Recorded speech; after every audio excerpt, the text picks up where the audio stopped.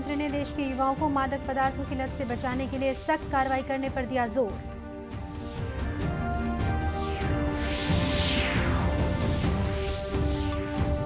राज्य स्थापना दिवस के अवसर पर राजधानी में तीन दिवसीय राज्योत्सव मनाया जाएगा। जिलों में आयोजित किए जाएँगे एक दिवसीय कार्यक्रम।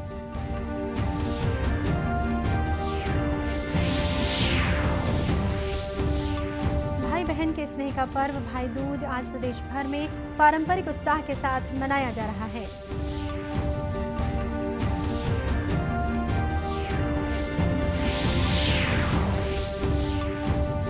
और प्रधानमंत्री आवास योजना से आकांक्षी जिला राजनांदगांव के कातुल बोर्ड के ग्रामीणों का साकार हो रहा पक्के मकान का सपना।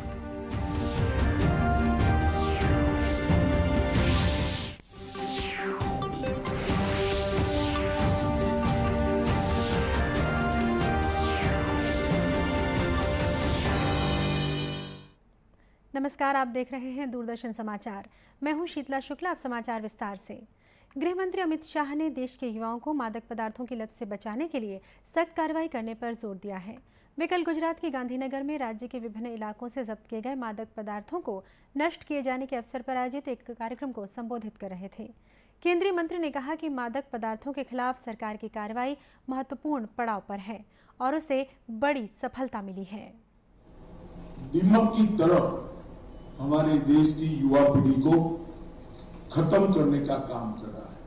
तो दूसरी ओर नारकोटिक्स के व्यापार से जो धन उपार्जन होता है, वो टेररिज्म के पोषण का भी काम करता है। दोनों दृष्टि से, देश की युवा पीढ़ी को सुरक्षित रखना और देश के टेररिज्म के वित्त पोषण पर एक करारा प्रहार करना, ये दोनों दृष्टि से मैं मानता हूँ कि लड़ाई को भारत सरकार की सभी एजेंसियाँ, राज्य सरकार की सभी एजेंसियाँ और पुलिस ने साझा लड़ाई के रूप में, एक स्पिरिट के साथ लेना पड़ेगा, लड़ना पड़ेगा और जीतना पड़ेगा। मैं आज ये सभी छह यूनिट जो हमारे पश्चिमी मध्य क्षेत्र के हैं, उनके सभी मुख्यमंत्री गण अधिकारी गण इस सबको कहना चाहता हूँ मित्रों कि अभी हमारे देश में नारकोटिक्स के खिलाफ जो लड़ाई है एक नाजुक मोड़ पर है महत्वपूर्ण मकाम पर है। अगर यहाँ पर हम एक साथ मिलकर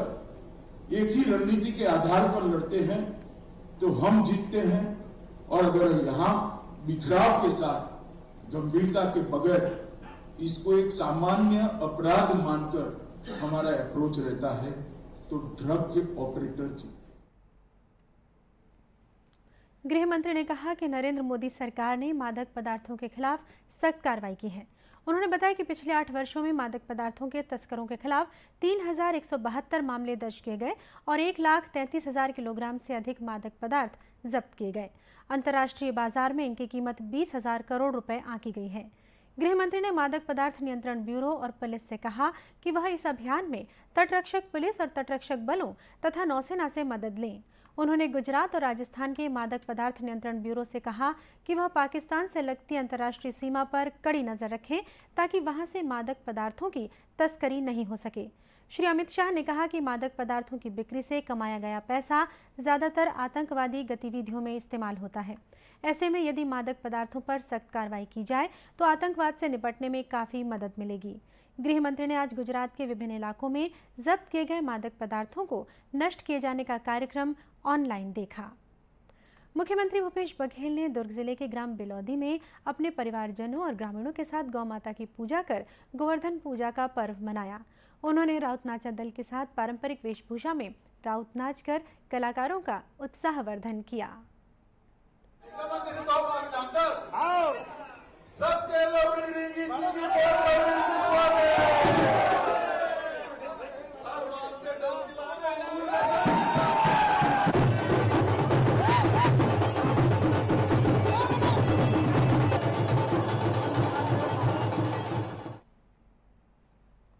इस अवसर पर उन्होंने कहा कि लोक आस्था का ये पर्व सभी के जीवन में नव ऊर्जा और बंधुत्व का संचार करे।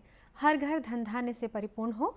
उन्होंने गोवर्धन पर्व को प्रकृति प्रेम और परोपकार का प्रतीक बताया और कहा कि प्रकृति की पूजा और संरक्षण आने वाली भावी पीढ़ियों के लिए अति आवश्यक है।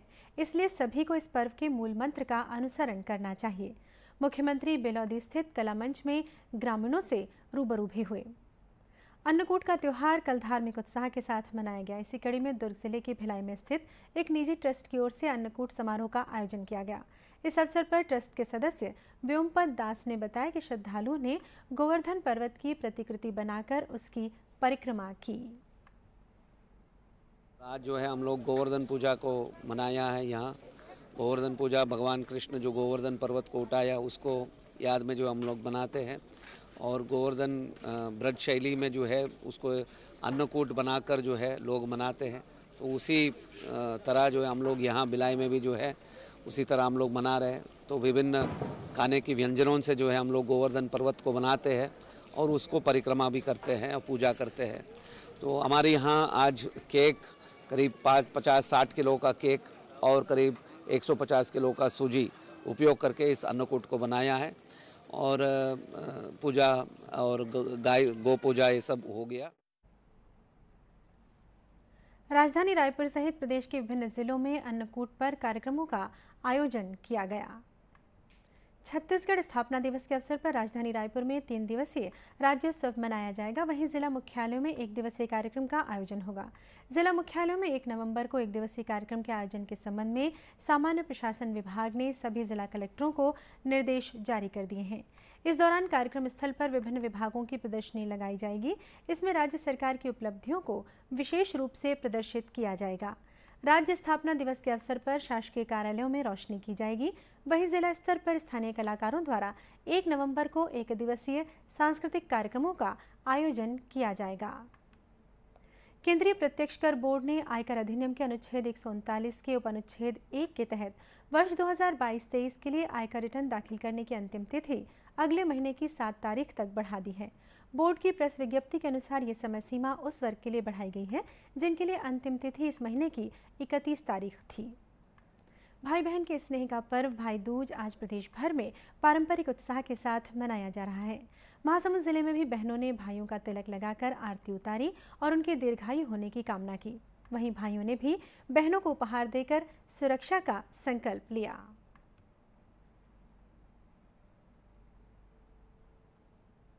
इस त्योहार में हम लोग को हर साल दिवाली के जो दो दूज पड़ता है उस पर हम भाई दूज मनाते हैं।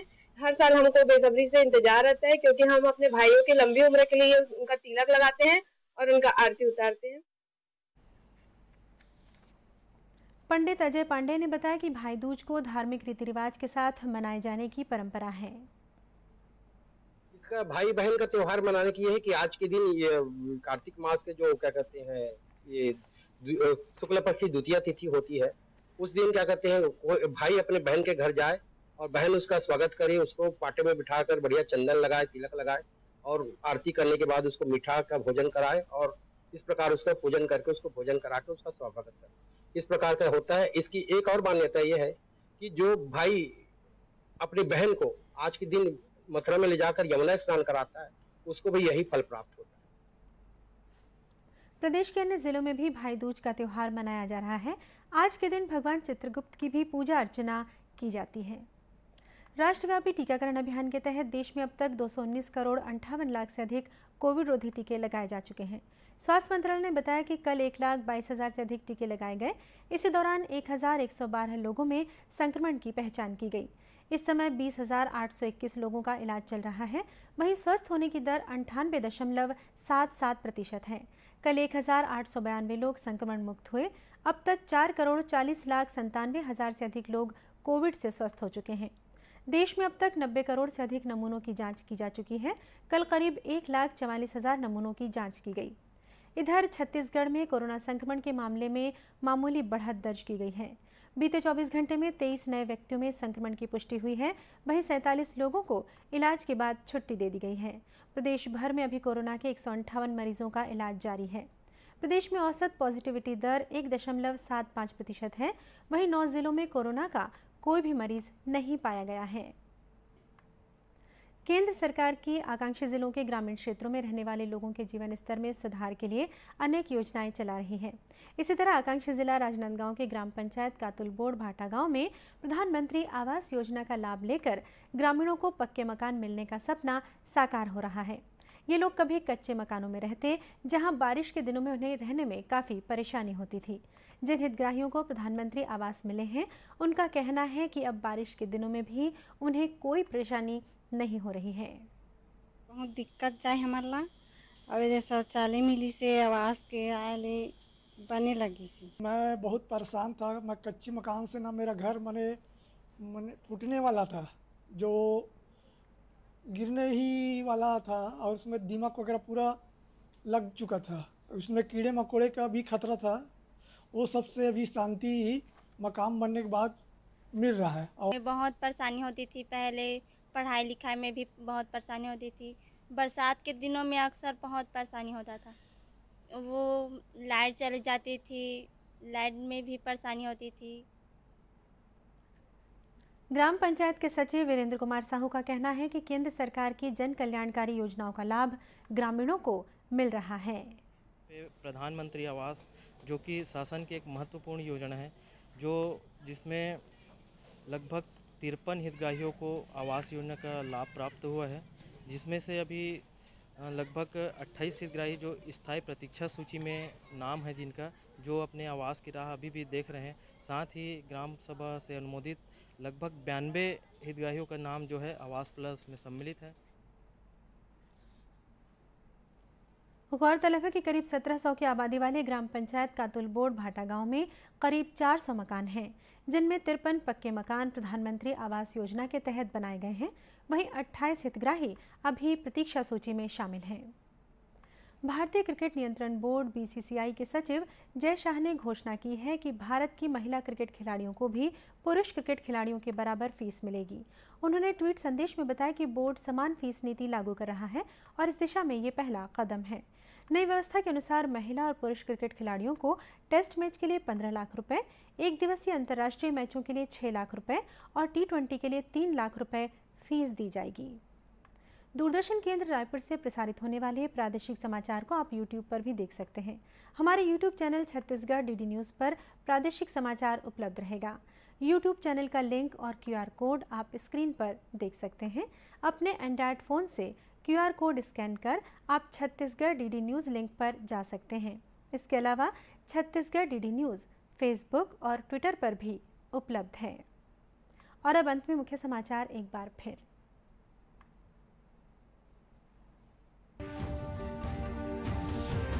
केंद्रीय गृह मंत्री ने देश के युवाओं को मादक पदार्थों की लत से बचाने के लिए सख्त कार्रवाई करने पर दिया ज़ोर।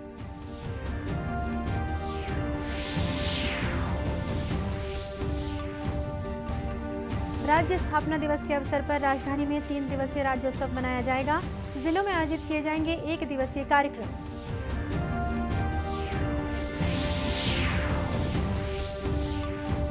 भाई बहन के स्नेह का पर्व भाई दूज आज प्रदेश भर में पारंपरिक उत्साह के साथ मनाया जा रहा है।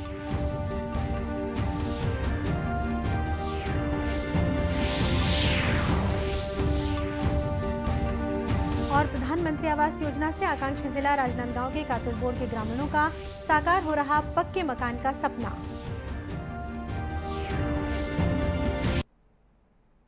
इसी के साथ ये समाचार बुलेटिन समाप्त हुआ। नमस्कार।